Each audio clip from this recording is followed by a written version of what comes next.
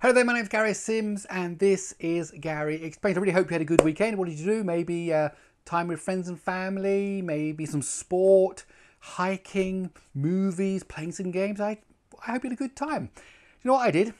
I installed an atomic clock in my PC. Yes, an atomic clock in my PC. If you want to find out more, please let me explain. Okay, so here it is. It's called the Time Card. This is an open source project. And this big block here is an atomic clock. There's also a GPS receiver, an FPGA. We'll talk more about the details uh, in a moment.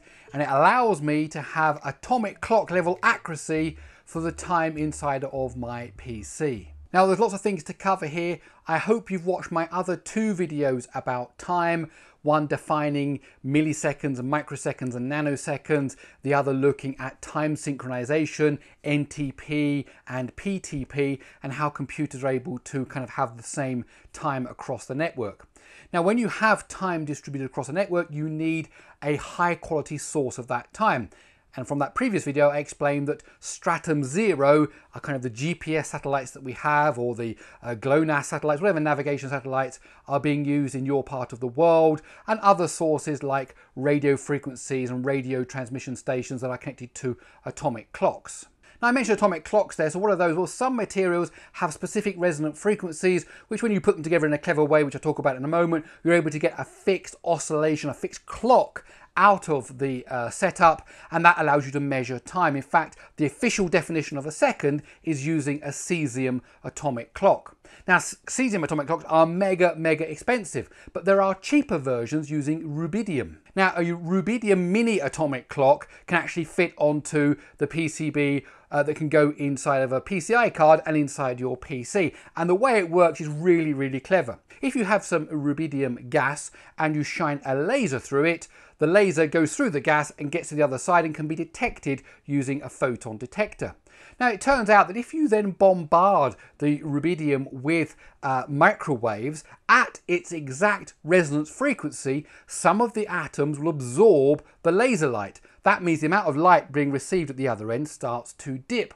And the closer you get to the exact resonance frequency, the less light is received. So you can actually have a feedback system where you can shine the light through the rubidium, some of it gets to the detector at the other end. You then tweak the frequency and see whether the amount of light that goes in goes up or goes down. And when you found that sweet spot, you found exactly the resonant frequency of uh, rubidium, which is 6.8 something, something, something, something, something, something. I'll probably show it here on the screen, uh, gigahertz. Now that means you've now got a way of naturally creating a fixed clock. And that means if you have a rubidium clock and I have a rubidium clock and they're tuned exactly to that resonant frequency, we're getting the same clock signal out, which means we can then turn that into seconds because we know that it's 6.8, whatever it was, uh, gigahertz. And that now gives us a stable signal wherever you are in the world, regardless of whether you're in the southern hemisphere, the northern hemisphere, whether it's summer or winter, whether the earth is wobbling or not wobbling, whether there's magnetic fields, you get this constant clock signal out. And that's what the basis of the time card is. You've got a mini atomic clock, which is built on the board, giving you this very steady pulse coming out. And then you sync it with GPS. So there's also a GPS module on there that's able to connect to all the various different uh, satellite navigation systems, gets the fixed time, and then it can sync up the time in the clock with the time from the GPS. And now you have a stable time source. Now, why would you want to do that? Why not just use GPS? Because there are occasions when the GPS signal might be lost. There could be atmospheric conditions, there could even be criminal activity, or in fact, it can even happen by accident. In 2007, the whole downtown part of San Diego lost GPS signal because the US Navy blocked the signal uh, by mistake. So the idea is if you can have a GPS signal that syncs up to a clock, a very stable uh, atomic clock, and then if that GPS sync is lost for whatever reason, that clock can keep on giving out very, very accurate time. Now, when you lose GPS signal, that's called holdover, and a rubidium atomic clock can keep the time accurate within nanoseconds over a 48 hour period without any problem whatsoever. So a great way of having GPS and a local time source with a failover that when you lose GPS, you get holdover. And then when the kind of they would sync back up, the time would say, oh, well, we didn't lose any time between us because you were doing such a good job of keeping the time. And that's the beauty of the time card. One of the things I love about the time card is that you can interrogate the atomic clock and you can interrogate the GPS signals independently because their serial ports, which you use to communicate with them, are exposed into Linux once you've installed the right driver. So here, for example, is a look at the atomic clock. You can ask it what version it is, you can ask it all its different parameters, and you can log those and have a look at them. And likewise, here is some information coming from the uh, GPS lock. And the messages coming out of the GPS here are quite interesting. You can see the first one here is time UTC. It tells us it's accurate within 27 uh, nanoseconds. And there we can actually see the date and time. Also here we can see that this time is according to the Naval Observatory. And the other message that comes out of the GPS board is actually the leap seconds. Now, the GPS system uses GPS time, which doesn't include leap seconds. Now, GPS time started on the 1st of January 1980 and was accurate, synced up to UTC at that point. However, since then, there have been 18 leap seconds introduced, and so there is another message that comes out of the GPS that tells you the difference between UTC time and the uh, GPS time, which doesn't have the 18 seconds uh, given. And as you can see there, it tells us there there should be 18 seconds uh, added on. Now using the time card is really simple. You just pop it into a PCI slot. Designed for Linux. In this case, I'm using CentOS Stream. Once you've got the right driver installed, then you are able to talk to the time card.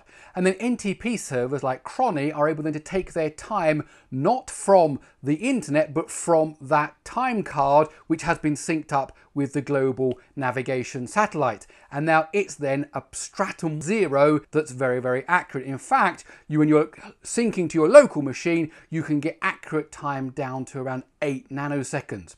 And then if you're using NTP across your network, using that physical clock that's actually in your kind of house, in your data center, you can actually get your local client to be synced up within about one microsecond. Again, remember to go back to that other video of mine to understand what the significance is of a nanosecond. It's such a small amount of time. And if you use something like PTP, which again I talked about in the previous video, you can actually get the clock synced within 100 nanoseconds across your network. Now, a lot of the services we use nowadays, for example, social media, whether that be Facebook or Twitter or Instagram or whatever it is, they actually have to use what's called a distributed database. And that's because the copy of kind of Facebook that's running near you might be in the Southern Hemisphere and it's got to be synced up with a version that's in Europe, it's got to be synced up with a version that's in uh, North America, and all this data is flying around. Now, if you've done something to this distributed database, which in terms of social media, you know, you've liked a post, you've written a post, you've made someone your friend, all that kind of stuff is in a big database. And what happens is that when something needs to be fetched from that database, you have to find out is Europe in sync with the USA? Is USA in sync with Australia? And the way they do that is actually using a timestamp. Who's got the latest version of the database will be the cry that goes out across the network. I have my one is at 21 minutes past 10. Well, I've got one here at 21 minutes past 10 and 4 seconds. Oh, your one then is new you can imagine. Now, of course, computers are working at much, much quicker speeds than just minutes and seconds. We're talking about microseconds. But here's the interesting thing. If there's too much of a difference between the clocks, then actually one computer can think it has a newer version because its clock is not accurate, when in fact a different computer has the newest version. And when they talk to each other, they can actually even have a kind of a time dilation problem in that one of them might think it's actually in the future and the other one's going, hold on a second, how can you be in the future? My time is this and your time is that. And so what they actually have to do is they add a 20 millisecond delay to all transactions so that they can make sure that all those tiny differences in the clocks have actually been caught up. Now, of course, 20 milliseconds for millions and millions of transactions across thousands and thousands of servers is a big overhead. We as humans don't notice it, but of course, on a network, on a system level, that's quite a massive. Now, if you're able to sync all of those machines down to a much, much greater accuracy, then you can chip away at that 20 milliseconds and bring it back down to a much more reasonable number. And that's just one example using distributed databases. If of course you're doing physics research, last time I mentioned the White Rabbit network at CERN, and of course the timing of particles and capturing things is so, so important.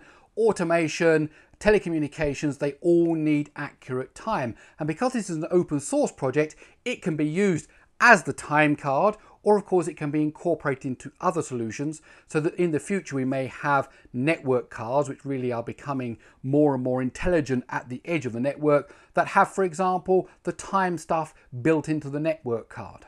Now, as I said, this is all open source, so you can actually go and build one for yourself. They are a bit expensive because that mini atomic clock itself is about $1,000, which means when you put the whole thing together, you might be looking at paying about $1,500, $1,600. However, that is nothing compared to what existing solutions are inside big data centers. Whether you are Facebook or Google or Microsoft or Amazon, you need accurate time across all of your servers. Also applies, as I said in the other video, to automation, to telecommunications, and so on. And sometimes these kind of clocks that you could get for the uh, network data center were $50,000, $60,000, because of course they weren't selling hundreds of them, so it's a bespoke piece of equipment. Now with the time card open source, all the files you need for the hardware and the software are there. That clock is only $1,500, $600, which is a big saving for the data center. Now, I'll be the first to admit this is not a consumer thing that you should run out now and get yourself an atomic clock, but you've got to admit it's pretty cool. Okay, that's it. My name's Gary Sims. This is Gary Explains. I really hope you enjoyed this look at how to put an atomic clock inside of your PC. There'll be some relevant links to where you can find out about the timing card, find all the stuff you need in the description below. I really hope you enjoyed the video. If you did, please do give it a thumbs up. Don't forget you can follow me on Twitter at Gary Explains. I also have a newsletter. Go over to garyexplains.com, type in your email address, no spam, just the newsletter. Okay, that's it. I'll see you in the next one.